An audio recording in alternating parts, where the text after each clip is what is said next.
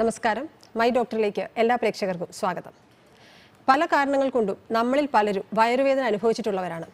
ഇന്നത്തെ കാലത്ത് വളരെ സാധാരണമായ ഭക്ഷ്യവിഷബാധ അൾസർ മൂത്രത്തിൽ പഴുപ്പ് അപ്പൻഡിസൈറ്റിസ് മുതൽ മൂത്രസഞ്ചിയിലോ വൃക്കയിലോ കാണപ്പെടുന്ന കല്ലുകൾ ക്യാൻസർ എന്നിവ വരെ ഇതിന് കാരണമാകാറുണ്ട്.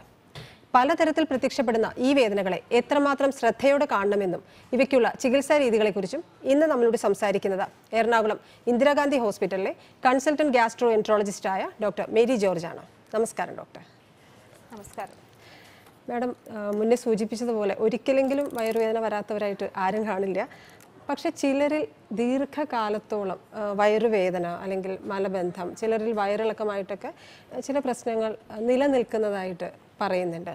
ഇത് സ്വാഭാവികമായിട്ട് ഒരു ആശങ്ക ഉണ്ടാക്കുന്നതാണ്. എന്താണ് ഈ ഒരു അവസ്ഥ രോഗാവസ്ഥ? അല്ലെങ്കിൽ എന്താണ് ഇതിന് കാരണമെന്നൊന്ന് വ്യക്തമാക്കാമോ? ഇതിന് നമ്മൾ സാധാരണയായി പറയുന്നത് ഇറിറ്റബിൾ ബവൽ സിൻഡ്രോം എന്നാണ്. അതായത് നമ്മുടെ ഒരു ഗ്യാസ്ട്രോൻട്രോളജിസ്റ്റിന്റെ ഒ പി എടുത്തു കഴിഞ്ഞാൽ അതിനകത്ത് വരുന്ന നാൽപ്പത് തൊട്ട് അമ്പത് ശതമാനം പേര് ആൾക്കാർക്ക് വരുന്ന ഒരു കംപ്ലയിന്റ് ആണ് ഈ വയറുവേദന. അടിക്കടി വയറ്റിൽ നിന്ന് പോകാൻ തോന്നുക പിന്നെ മലബന്ധം. അപ്പം ഇത് തുടർച്ചയായ ഒരു അഞ്ചാറ് മാസം നീണ്ടു നിൽക്കുന്ന ആൾക്കാരാണെങ്കിൽ അതിനെയാണ് നമ്മൾ ഒരു ഇറിറ്റബിൾ ബവൽ സിൻഡ്രോം എന്ന് പറയുന്നത്.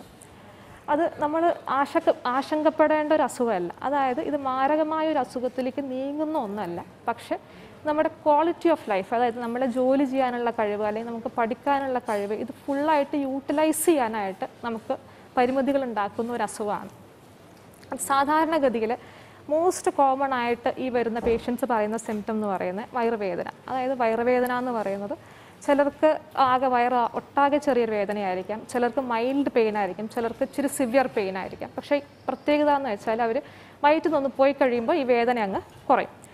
പിന്നെ ഇവർ പറയുന്ന ഒരു കോമൺ ആയിട്ടുള്ള സിംറ്റം ആണ്. അത് രാവിലെ എണീറ്റ് ഭക്ഷണം കഴിഞ്ഞ് ഉടനെ ടോയ്ലറ്റിൽ പോകണം അത് കഴിഞ്ഞ് രാവിലെ ജോലിക്ക് പോകാനായിട്ട് ഡ്രസ്സ് ചേഞ്ച് ചെയ്ത് ഉടനെ ഒന്നും കൂടെ പോകണം പക്ഷേ എല്ലാം ഫുൾ പോയി എന്നങ്ങ് തോന്നുന്നില്ല.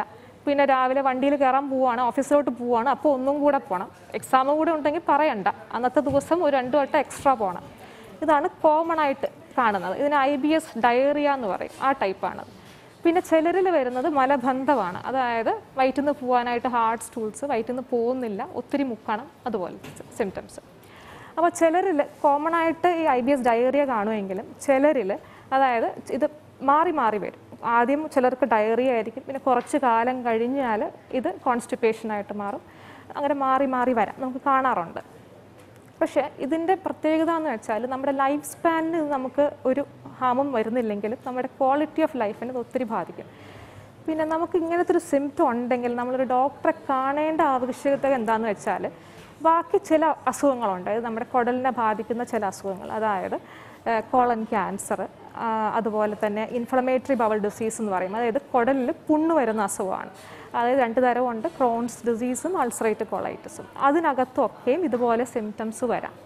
അപ്പം നമ്മൾ ഇതിനകത്ത് അലാം സൈൻസ് എന്ന് പറയും. ഇപ്പം നമ്മൾ ഐ ബി എസ് ഉള്ളൊരു പേഷ്യന്റിനെ വരുമ്പോൾ നമ്മൾ എന്തുകൊണ്ട് ടെസ്റ്റ് ചെയ്യണമെന്ന് വിചാരിച്ചാൽ നമ്മൾ ഐ ബി എസ് ആണെന്ന് നമുക്ക് ഹിസ്റ്ററി കേൾക്കുമ്പോൾ ഏകദേശം മനസ്സിലാവും. പക്ഷേ ഇതിനകത്ത് നമ്മൾ ടെസ്റ്റുകൾ ചെയ്യുന്ന എന്തിനാന്ന് വെച്ചാൽ ബാക്കി അസുഖങ്ങൾ എന്തെങ്കിലും ഗൗരവമായ അസുഖങ്ങൾ എന്തെങ്കിലും ഉണ്ടോ എന്നറിയാനാണ് അത് റൂൾ ഔട്ട് ചെയ്യാനാണ്. എസ്പെഷ്യലി അലാം സൈൻസ് കണ്ടു കഴിഞ്ഞാൽ. അതായത് ഈ സിംറ്റംസ് ഒക്കെ ഉണ്ടെങ്കിലും വയറ്റിൽ നിന്ന് പോകുമ്പോൾ മലത്തിൽ ബ്ലഡ് കണ്ടു കഴിഞ്ഞാൽ അത് ഒത്തിരി ഗൗരവമായി ശ്രദ്ധിക്കേണ്ട കാര്യമാണ്. രണ്ടാമത്തൊരു കാര്യം നമുക്ക് വെയിറ്റ് കുറഞ്ഞു വരുന്നുണ്ടെങ്കിൽ ഇപ്പോൾ എത്ര ഡയറി ഉള്ള ആളാണെങ്കിലും നമ്മൾ സാധാരണയായി ഭക്ഷണം കഴിക്കുന്ന ആളാണ്. ഐ ബി എസ് ആണെങ്കിൽ വെയിറ്റ് കുറയേണ്ട ആവശ്യമില്ല. പക്ഷെ വെയിറ്റ് കുറഞ്ഞു വരുന്നുണ്ടെങ്കിൽ നമ്മൾ ക്യാൻസർ പോലത്തെ അസുഖങ്ങൾ അല്ലെങ്കിൽ ഇൻഫ്ലമേറ്ററി ബൗൾ ഡിസീസ് അതുപോലത്തെ കാര്യങ്ങളൊക്കെ നമ്മൾ ആലോചിക്കേണ്ടതുണ്ട്. അപ്പോൾ അതിന് വേണ്ടിയിട്ടാണ് നമ്മൾ ടെസ്റ്റുകൾ ചെയ്യുന്നത്. അപ്പം കുറച്ച് ബ്ലഡ് ടെസ്റ്റുകൾ നമ്മൾ ചെയ്യും. മലം പരിശോധിക്കാൻ പറയും. അത് കഴിഞ്ഞ് പിന്നെയും നമുക്ക് സംശയം ഉണ്ടെങ്കിൽ നമ്മൾ മലദ്വാരത്തിൽ കൂടെ ഒരു ട്യൂബ് ഇട്ട് നമ്മൾ അതൊരു ക്യാമറയുള്ള ട്യൂബ് ഇട്ട് അതായത് കൊളോണോസ്കോപ്പി എന്ന് പറയും. നമ്മൾ കുടലെല്ലാം ഒന്ന് പരിശോധിക്കും. ഇത്രയാണ് നമ്മൾ സാധാരണ ചെയ്യാറുള്ളത്.